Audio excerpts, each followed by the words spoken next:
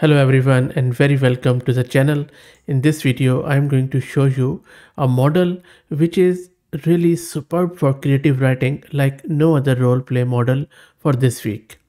This new model which is called as RPMax in 1.1 series which is a fine tune of Llama 3 8.1 model has already shown a lot of promise in its benchmark. So that is what we are going to test today we are going to do an actual role play with this model. Before I do that, let's have a quick look at this model because it's using something called as RPMax or Roleplay Max for a different sort of fine tuning technique. When we say fine tuning a model, in simple words, what it means is that we train an existing pre-trained model on our own data set. RPMax is a new fine-tuning technique which has been used for this RPMax model. RPMax is mostly successful thanks to the training dataset that the creator used for these models fine-tuning. And I'm saying models because it comes in various variants in 3.8 billion, 8 billion, 12 billion and 70 billion.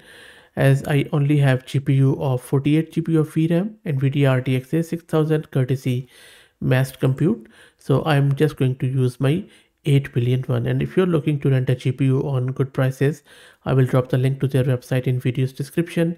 Plus i'm also going to give you a coupon code of 50 percent discount on range of gpus so coming back to this model this model has um, been tested on various creative writing and role play data set. And in rp max what this creator has done he went to hugging face picked up a lot of open source data sets which were focused on writing and role play and then he curated them to weed out data sets that are purely synthetic generations as they often only serve to dump down the model and make the model learn GPTism rather than help. So what he did, he then used Llama 3.1 to create a database of the characters and situations that are portrayed in those data sets which is then used to deduplicate this data set to make sure that there is only a single entry of any character or situation. And the motivation for this is that he realized that models often overfit and latch onto character tropes or stories that are in popular role play and creative writing data set. So he focused on quality instead of quantity and so the data set for rp max is actually orders of magnitude smaller than it would be if he left all these repeated characters and situations in the data set. So the end result is a model that does not feel like just another remix of any other roleplay model with same tropes that keep repeating. So in this video we are going to test it out.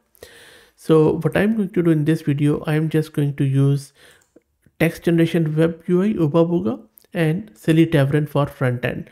So backend is this uh, Oobabooga and if you don't know how to install these two, I already have done a video here. Sorry, no, not this one. Let me move this.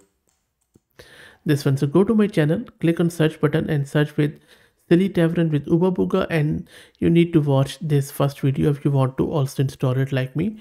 And just watch it. It shows you step by step how to install silly tavern with oobabooga and once you have it you will first go to text generation web ui here in this field you will search with this rpmax model and you can grab this by just clicking here on this copy button. Just grab it go to uh, this text generation web ui paste it click download and then load the model by clicking here after selecting it and then you see that it is successfully loaded.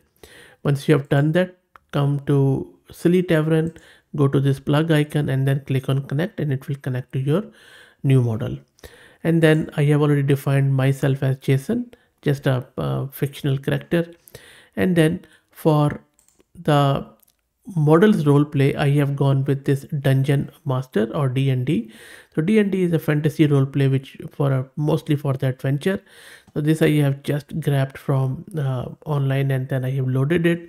And if you uh, i already have shown you in this video which i just showed you how to load these cards and stuff. So everything is ready. I'm just going to start the role play. I'm just going to uh, click here and then ask the model some questions and we'll do the role play and we will see how model works. Also you can see here um, there's a description as what this role play is. So ai is acting as dungeon master for this d&d based adventure game. So let's see how it goes. So i'm just going to type here what is my quest? So jason is me. So let's wait for the model to come back with the response and the dungeon master has given me a quest. It is saying you are wandering down a muddy forest path lost in thought about how much you'd rather be at home enjoying a cold beer and watching the footy. Now um, it is talking about beer and footy because these are australian sports and my character is australian. So model is has already adapt, adapt uh, you know adopted the role and also knows my role. And then it is saying suddenly a disgusting little goblin pops out of nowhere brandishing a filthy blade and then it is just talking some uh, goblin language. And then it has given me what do you do? The goblin seems completely unhinged and ready to fight at a moment notice. It's clear you need to act quickly to avoid being squid or worse. And then it is giving me some of the options here which you can check out from your model card. So my abilities are great weapon fighting second wind available action search. So Okay, so what I'm going to do, I'm just going to say I charge forward, swinging my great sword at the goblin. Let's see what happens then. So you have great weapon fighting. Let's see. And now the dungeon master, or in effect the model RP Max says, with a mighty roar, you charge forward. Your great sword raised high overhead, the goblin lets out a shrill shriek of surprise as you bear down upon it the heavy plate so there is a fighting going on and goblins goes hit here greeting mortal and then sorry read this. Suddenly the goblin begins to glow with an airy green light and you hear a voice emanating from its body. Greetings mortal. I am gribble spirit of mischief and chaos. In life i delighted in causing trouble for travelers such as yourself. Now in death i offer you a choice. So you may choose to slay me once more, ending my existence forever, or if you're feeling especially adventurous, you may accept my challenge. Let's see. I say I accept your challenge. What does it entail? Let's see. And now look at the response. Our brave soul, very well then, let us see what you're made of. My challenge is simple but not easy.